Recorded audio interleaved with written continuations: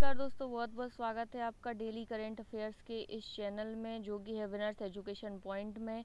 चलिए हम देखते हैं आज के करेंट अफेयर्स जो कि हैं टॉप टेन इनका आंसर आप ही को देना है और आपको अपनी जाननी है, आपकी तैयारी कितनी है। पहला क्वेश्चन है हमारा, हाल ही में लोक सेवा प्रसारण दिवस कब मनाया गया?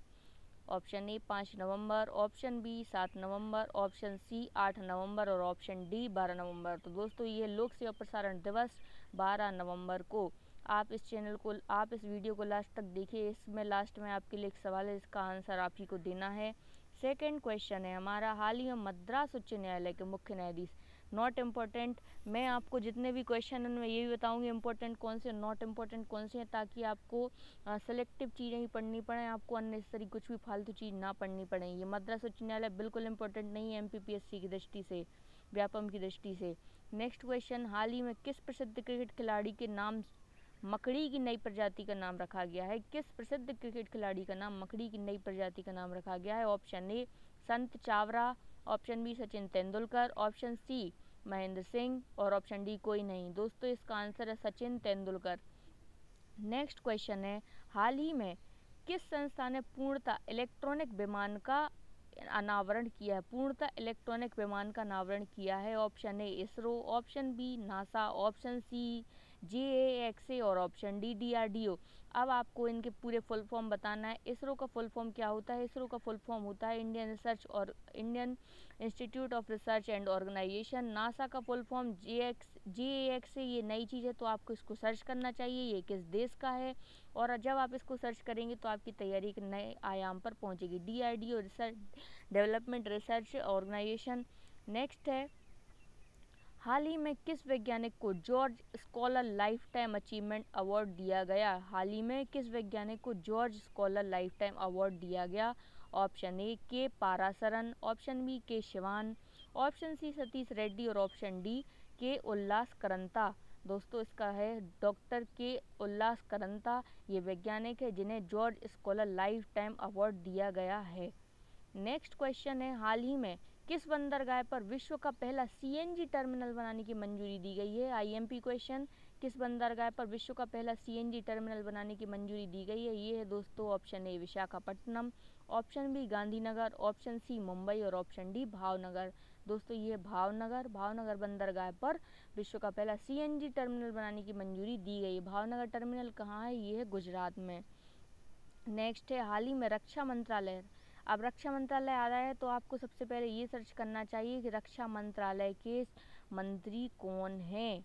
रक्षा मंत्रालय ने किस पोर्टल और स्टार्टअप चैलेंज की शुरुआत की है? हाल ही में रक्षा मंत्रालय ने किस पोर्टल और स्टार्टअप चैलेंज की शुरुआत की है? Option A, E assessment option B, E Danta Seva, Dant Seva और option C iDEX portal iDEX portal और ऑप्शन डी इनमें से कोई नहीं। दोस्तों इसका आंसर है आईडेक्स पोर्टल रक्षा मंत्रालय ने इसके इस, इस पोर्टल स्टार्टअप चैलेंज की शुरुआत की आईडेक्स पोर्टल नेक्स्ट क्वेश्चन है हाल ही में संस्कृत भारतीय विश्व सम्मेलन कहाँ पर आयोजित किया गया है? हाल ही में संस्कृत भारतीय विश्व सम्मेलन कहाँ पर आयोजित किया गया है?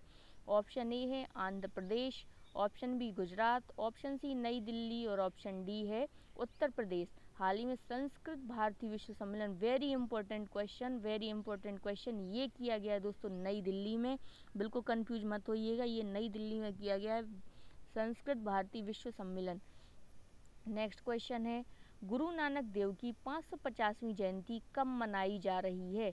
गुरु नानक देव की पाँच सौ पचासवीं जयंती कब मनाई जा रही है? ऑप्शन ए नौ नवंबर ऑप्शन बी दस नवंबर ऑप्शन सी ग्यारह नवंबर ऑप्शन डी बारह नवंबर। दोस्तों, इसका आंसर है बारह नवंबर को गुरु नानक देव की पाँच सौ पचासवीं जयंती मनाई जा रही है। नेक्स्ट क्वेश्चन हाल ही में order of green crescent order of green crescent award से किसे सम्मानित किया गया है? Option A Ramnath Kovind, option B Narendra Modi, option C M Venkaiah Naidu और ऑप्शन डी प्रणब मुखर्जी। दोस्तों, ये किया गया एम वेंकैया नायडू, जो कि हमारे राष्ट्र के उपराष्ट्रपति हैं। इन्हें order of green crescent award से सम्मानित किया गया है। अब दोस्तों, आपसे कल एक क्वेश्चन पूछा गया था हाल ही में, किस बैंक ने भारत का पहला ग्रीन कार लोन शुरू किया है? किस बैंक ने भारत का पहला ग्रीन कार्ड लोन शुरू किया है? अब आपने कल का वीडियो देखा होगा तो आपको पता चला होगा। Option A R B I option B S B I option C P N B और option D I C I C I दोस्तों, ये है एस बी आई बैंक द्वारा भारत का पहला ग्रीन कार्ड लोन शुरू किया गया है। अब आज का आपके लिए प्रश्न है, ये है, हाल ही में किसने फेड कप जीता है? हाल ही में किसने फेड कप जीता है? वेरी इंपॉर्टेंट क्वेश्चन जितने भी अवार्ड हैं, वो पूछे ही जाते हैं और इन पर आपको वीडियो शाम तक प्रोवाइड की जा की जाएगी तो आपको जो 12 नवंबर का कल का करंट अफेयर्स की वीडियो प्रोवाइड की गई थी, उसकी लिंक आपको डिस्क्रिप्शन बॉक्स में मिल जाएगी तो please watch that video also ये है दोस्तों, फ्रांस फ्रांस को फेड कप मिला था? दोस्तों आई होप आपको ये वीडियो पसंद आई होगी। प्लीज़ लाइक कीजिए शेयर कीजिए सब्सक्राइब कीजिए। इसी के साथ साथ आपको अन्य इशूज़ पर भी आ, वीडियो प्रोवाइड की जा चुकी की जा सकेंगी। जैसे कि आपको प्री की तैयारी किस प्रकार करनी है बिगनर्स कैसे तैयारी कर सकते हैं जॉब वाले किस प्रकार तैयारी कर सकते हैं आपकी आप टच में रहिए इस चैनल के।